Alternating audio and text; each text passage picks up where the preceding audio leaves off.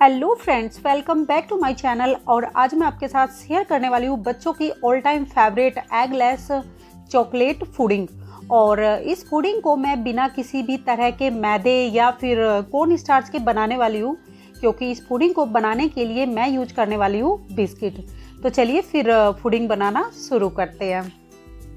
तो फूडिंग बनाने के लिए ये मैंने गुड्डे के दो बिस्किट लिए हैं, क्योंकि ये सभी के घरों में इजीली अवेलेबल होते हैं। आपके घर में जो भी बिस्किट हो, आप इस फूडिंग को उसी बिस्किट के साथ बना सकते हो।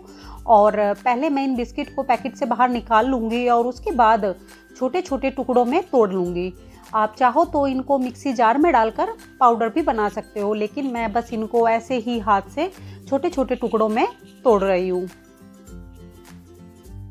तो अब मैंने बिस्किट को तोड़ लिया है और अब इनको थोड़ी देर के लिए साइड में रख देंगे और एक कढ़ाई में ये मैंने ली है और अब मैं इसमें डाल रही हूँ ये तीन कप फुल क्रीम दूध।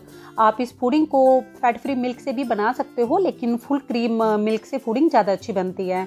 और अब इस दूध को हमें तब तक उबालना है जब तक कि इसमें पहला उबाल नहीं आ जाएगा।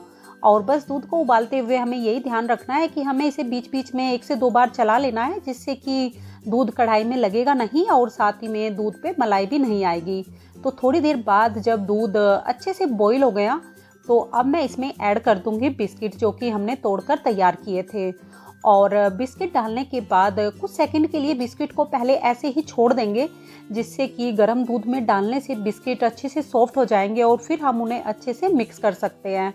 और थोड़ी देर बाद जब बिस्किट अच्छे से सॉफ्ट हो गए तो अब मैंने गैस का फ्लेम बिल्कुल लो कर दिया है और लो फ्लेम पर बिस्किट को दूध के साथ अच्छे से मिक्स कर लेना है।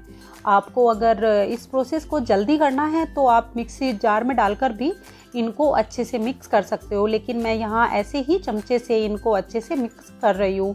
तो अब मैंने इनको थोड़ा सा मिक्स कर लिया है और, अब इस स्टेज पे मैं इसमें ऐड करूँगी एक चम्मच कोको पाउडर और करीब एक बड़ी चम्मच ये चोको चिप्स। आप चाहो तो इनमें से किसी एक से ही इस पुडिंग को बनाकर तैयार कर सकते हो और आप जो भी चोको चिप्स या कोको पाउडर ले रहे हो वो अच्छी ब्रांड का ही यूज़ करें, उसी से फूडिंग में टेस्ट और कलर दोनों ही अच्छा आएगा।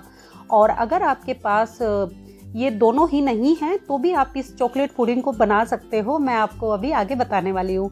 तो इन दोनों को डालने के बाद भी मैंने लगातार चलाते हुए इस फूडिंग को अच्छे से मिक्स कर लिया। आप देख सकते हो कि कितने अच्छे से स्मूथ हो गई है। तो अब मैं इसमें ऐड करूँगी चीनी।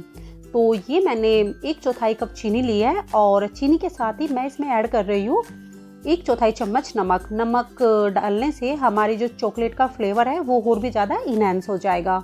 और इन दोनों को अच्छे से मिक्स कर देंगे। और अच्छे से मिक्स करने के बाद लो फ्लेम पर ही हम इसे करीब दो मिनट के लिए और अच्छे से पका लेंगे।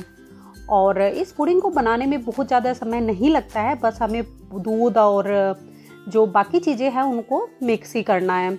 तो थोड़ी देर बाद आप देख सकते हो कि फूडिंग हमारी तैयार हो चुकी है और यहाँ मैंने अब गैस का फ्लेम भी ऑफ़ कर दिया है। और अब इस फूडिंग को हम ठंडा होने देंगे और ठंडा होने के बाद हम इसे सर्विंग गिलास में सर्व कर लेंगे। और अगर आपके पास चॉकलेट चिप्स या फिर कोको पाउडर नहीं हो तो आपको क्या करना है कि बस आपको किसी भी चॉकलेट फ्लेवर के बिस्किट का यूज़ करना है तो आपकी फूडिंग बनकर तैयार हो जाएगी। और शुगर को भी फिर उसी के अकॉर्डिंग एडजस्ट कर लेना है। और थोड़ा सा ठंडा होने के बाद अब मैं इस पुडिंग को गिलास में निकाल रही हूँ। आप चाहो तो गिलास, बाउल, किसी भी में इस पुडिंग को सर्व कर सकते हो।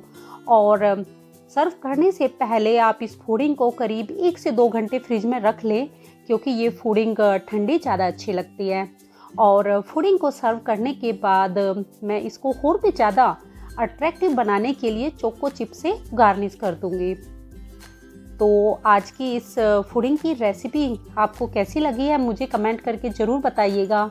और साथ ही में, अगर आपने अब तक मेरे चैनल को सब्सक्राइब नहीं किया है तो सब्सक्राइब कर ले और इस वीडियो को भी लाइक और शेयर करना मत भूलिएगा।